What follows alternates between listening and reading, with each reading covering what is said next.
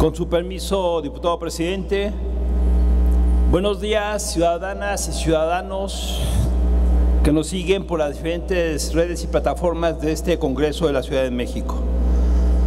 Apreciables compañeras diputadas, apreciables compañeros diputados.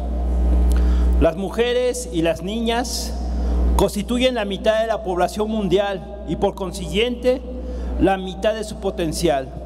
La igualdad de género, además de ser un derecho humano fundamental, es, es imprescindible para lograr sociedades pacíficas con pleno potencial humano y capaces de desarrollarse de forma sostenible.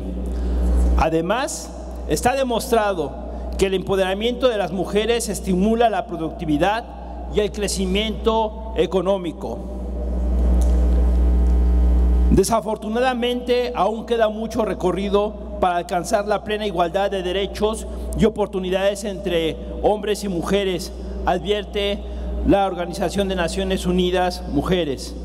Por ello, es primordial, es de primordial importancia acabar con las múltiples formas de violencia de género y que el acceso a la educación y a la salud de calidad a los recursos económicos y a la participación en la vida política sea igualitario tanto para mujeres y niñas como para hombres y niños. También es fundamental lograr tanto la igualdad de oportunidades en el acceso al empleo como posiciones de liderazgo o la toma de decisiones a todos los niveles. Hay que recordar que en 1979 la Asamblea General aprobó la Convención sobre la eliminación de todas las formas de discriminación contra la mujer, que a menudo describe como una Carta Internacional de Derechos Humanos para las Mujeres. En sus 30 artículos, esta convención define explícitamente la discriminación contra las mujeres y establece una ruta de acciones para poner fin a tal forma de discriminación. Esta convención se centra en la cultura, y la tradición como fuerzas influyentes que dan forma a los roles de género y a las relaciones familiares.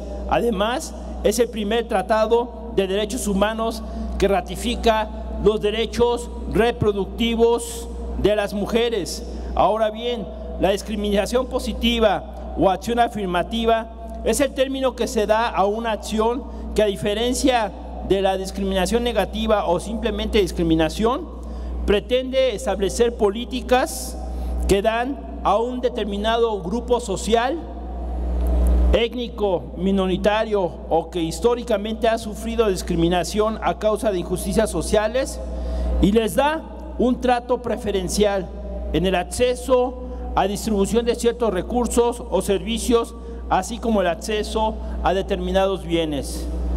Con el objeto de mejorar la calidad de vida de grupos desfavorecidos y compensarlos por los prejuicios o discriminación de la que fueron víctimas en el pasado. Los programas de acción afirmativa pretenden brindar un trato preferencial en el acceso a la sociedad económicamente activa o en la distribución de ciertos recursos, servicios o bienes con el objetivo de mejorar la calidad de vida de grupos y sectores históricamente excluidos para compensarlos con los prejuicios o la discriminación de la que fueron o son víctimas. Fue decisivo descubrir que no basta con declarar la igualdad de trato cuando en la realidad no existe la igualdad de oportunidades. Eso significa, por ejemplo, aunque la discriminación se manifiesta en el ámbito público, tiene sus orígenes y se encuentra este origen en el ámbito, en el ámbito privado.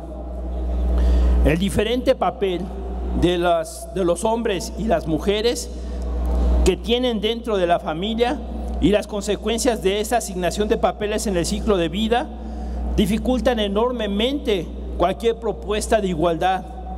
En ese sentido, es loable que al igual que los adultos mayores, las mujeres embarazadas, las niñas y los niños menores de 6 años estén exentos del pago al hacer uso del servicio público de transporte de tipo masivo. Esto como una acción afirmativa en favor de esos sectores de la sociedad. Por eso, compañeras diputadas y diputados, a pesar que es una iniciativa sencilla pero de profundo calado, de que a esos sectores de la población se les permita precisamente esas acciones afirmativas a efecto de que se les vaya apoyando a estarse incluyendo en el mejor nivel de vida que como sociedad tenemos. Muchas gracias por su atención, compañeras diputadas y diputados.